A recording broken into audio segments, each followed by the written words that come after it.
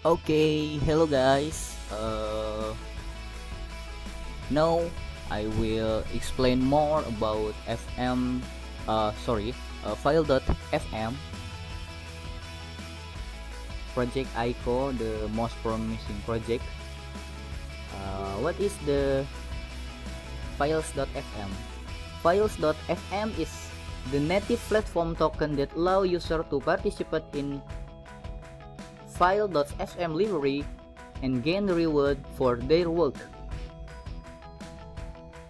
The FFM token can be gained by uploading files, adding metadata, sharing free drive space, or doing other things that are beneficial to the file FM library.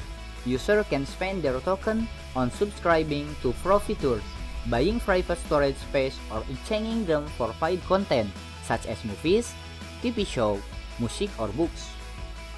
And token economics of file.fm is user participation and maintaining the library will be rewarded with FFM utility token that can later be exchanged for additional benefits.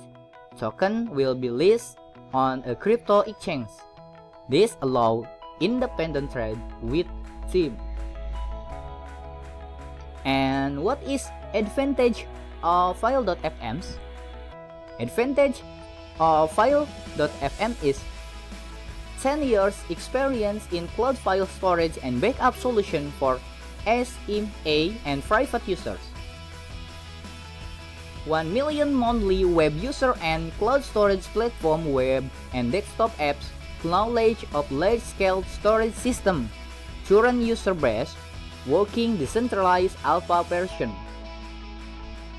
Okay guys uh, that's my explaining about advantage of file.fms and for more information you can uh, stay tuned for more update about file.fm at my youtube channel or their website and other social media of file.fm thanks for watching